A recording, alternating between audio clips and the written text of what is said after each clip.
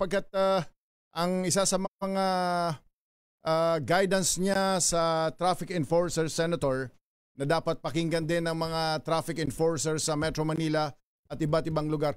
Don't just focus on the penalty doon sa mga traffic violators but manage traffic. Mayor Trenyas, magandang umaga ho sa inyo. Hi, good morning. Morning. No, no, tag? good morning. Alright, uh, Mayor, kasama natin si Senator uh, Francis Tolentino.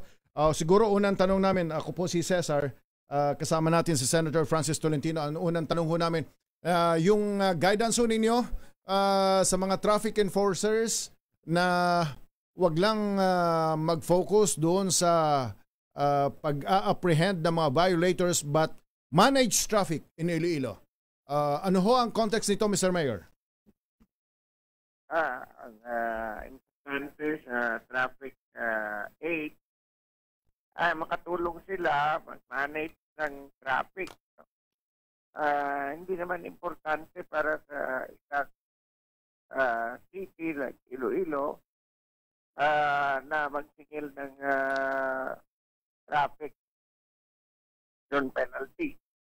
What is important is that uh, we will be able to help our constituents get to the uh, places uh, safely and faster kasi the traffic aid are there to help manage traffic and to help our uh, riding public. That is uh, more important. Mayor, ah, good morning Mayor, Trenyas, Jerry. Ah, siguro, oh, i- i- diretso ko na 'tong mga itatanong ko. Malapit na po ang Dinagyang Festival.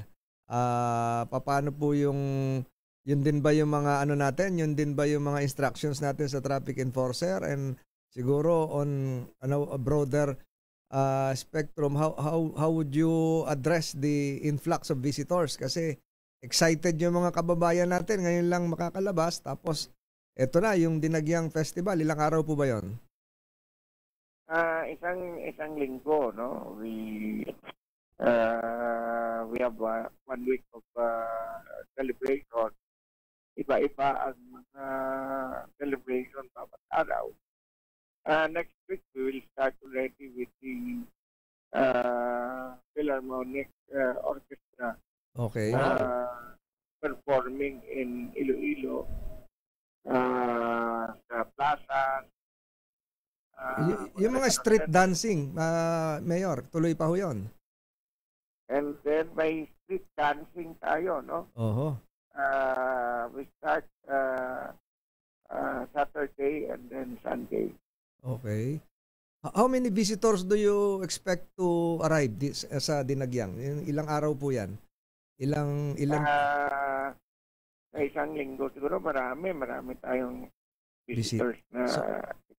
Kaya naman ng ano, Mayor, kaya naman ng mga hotels, kaya ng mga restaurants, kaya ng security forces natin kasi mahirap din mag-manage ng crowd. At siguro, tingnan din natin yung huling level of COVID infection ninyo, rate. Ah, paano po mamamanage lahat po ito, Mayor? Ah, dito sa Iloilo, medyo mababa na tayo sa cases, no? For several days, zero na tayo. Oba, congratulations, congratulations, Mm. congratulations. And uh, alam mo naman dito sa amin, uh, sir, uh, mga symptomatic, libre ang COVID uh, Test. We do not charge for symptomatic. So Or, itong ah, itong mga turista natin sa Dinagyang, pwede rin na mag-avail ng ganong services. Marami po 'yan. Ah, eh, hindi problema. They want. Okay. Okay. Ah, mga students going back to school, ah, alam mo kasi we have nine universities and nine colleges here. Uh, libre rin. Ah, Mhm. The schools uh, require that they present uh, negative RT-PCR test. Mhm. We give free uh, test for all of them. Siguro bago magtanong si Yusek Cesar, ano po ang pagkakaiba ng Dinagyang Festival 2023 ngayon na ma- malapit na doon sa mga nagdaang dinagyang festival? Ano po yung ma-expect ng ating mga kababayan na gustong pumunta ng Iloilo? Aside sa the usual uh, dances, may isa sila na pinasok. No? Mhm. uh, uh, Saturday night, uh, sa gabi, uh, there will be There will be? at the, the Warriors will be lighted. Okay. So, may illumination. Ah, pupunta kami ni Yusek Cesar sa Sabado. Sabado ng gabi. Ah, sige, sige. Uh, we will be very happy. Oho. La- We will be lighting eh, Lighting, lighting. Oo. pupunta kami ni Yusek Cesar. Mamaya, ah, Mayor, ang guest namin dito after you is Kaap. Sisiguraduhin namin na walang glitch yung airport ng Iloilo. Ay, Para pagpunta dyan sa Iloilo ng mga eroplano, eh, walang problema. Baka i-U-turn pabalik na Maynila. Sana naman, sana naman. Yes, uh, Yusek, baka may tanong Alright, ka kay Mayor. uh, siguro, uh, Mr. Mayor, uh, bibigyan ho namin kayo ng pagkakataon. I'm sure alam na ng mga kababayan ho ninyo at ng mga turista uh, kung gaano ka-importante yan at uh, yung iba napaka, may uh, sentimental value yung uh, dinagyan at uh, yung, yung, yung, yung readiness ninyo uh, siguro nasa, nasa inyo ang pagkakataon para uh, kung may mensahe ho kayo sa mga taga Iloilo at parintina sa mga turista at sa ating uh, buong bansa. Nasa inyo po ang pagkakataon.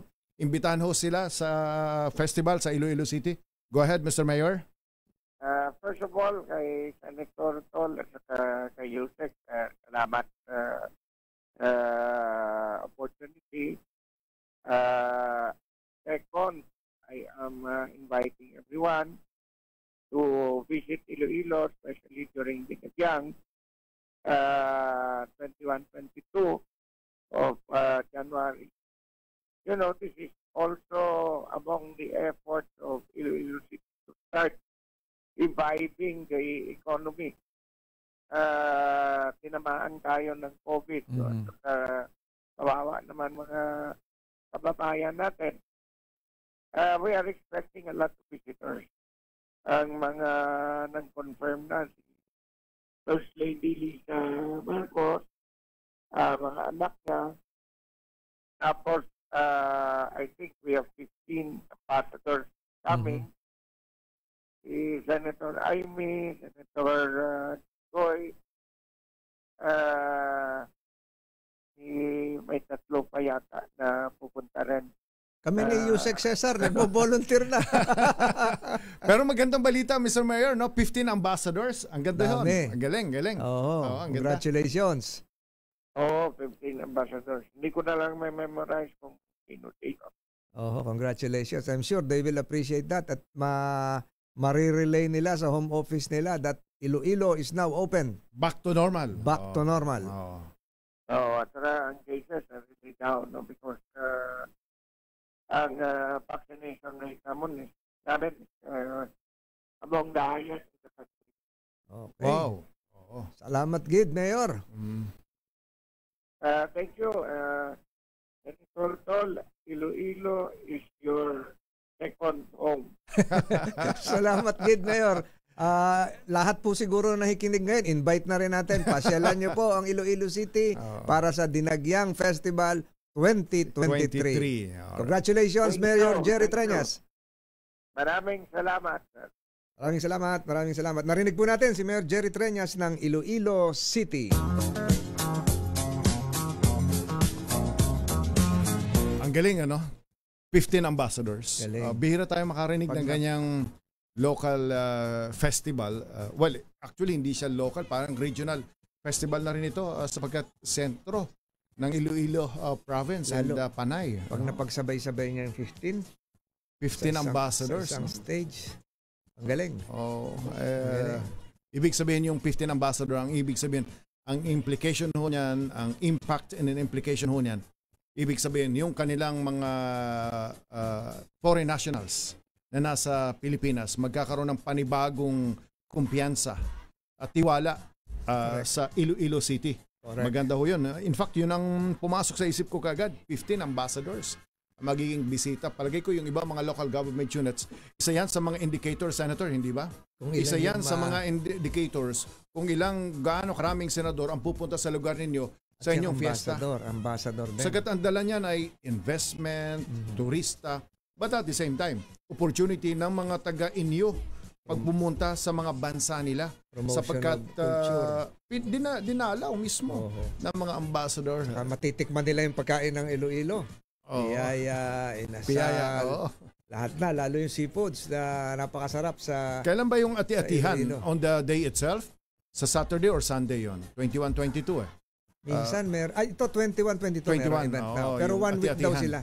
One, One week, week. sila. It's a oo. uh, week-long uh, celebration. Celebration. Alright. Congratulations. Advance happy fiesta. Pati kay uh, Congresswoman Jam, uh, Jam, uh, uh, Ng congratulations. Iloilo City. Alam nyo, si Congresswoman Jam, uh, Senator Jam Jam. Jam Jam, ay uh, nagsimula bi- bilang SK Chairman. Mhm. Tapos naging SK Federation President. Mhm. At the time na ako ang uh, commissioner ng, NYC.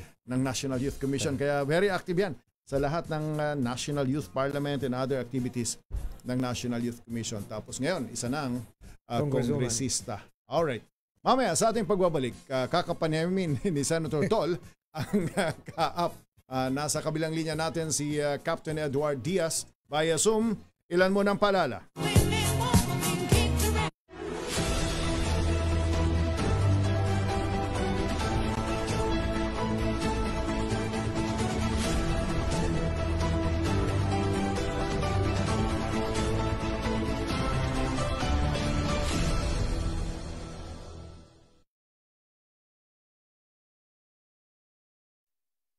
Hello, Washi! Laundry day na naman! Yay! Anong meron? Mancha ng chocolate, Oh. putik, may libag pa!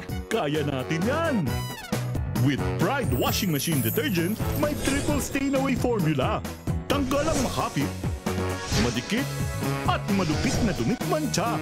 Kaya easy-easy ang labada. Mula noon hanggang ngayon! All you need is pride. All you need is pride. ACS. Mga balitang gigising sa iyong umaga. Mga balitang kailangan mong malaman. Mapapakinggan sa ACS Balita sa 2x2.